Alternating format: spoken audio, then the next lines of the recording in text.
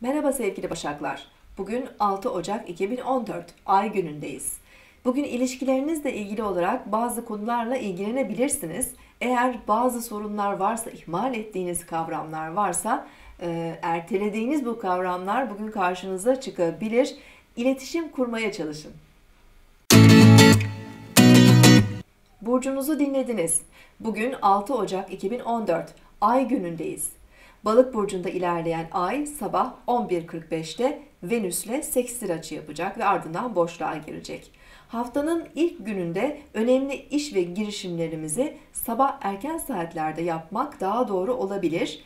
Çünkü ay 11.45'ten itibaren gece saatlerine kadar boşlukta olacak. Bu nedenle günlük işlerde verim almamız biraz zorlaşabilir ya da yavaşlayabilir. Değişken şartlar gündeme gelebilir. Sosyal ilişkiler, eğlenceli ve keyifli faaliyetlerle ilgilenmek için günü değerlendirebiliriz. Ay akşam 21.46'dan itibaren Koç burcuna geçiş yapacak. Yarın tekrar görüşmek üzere. Hoşçakalın.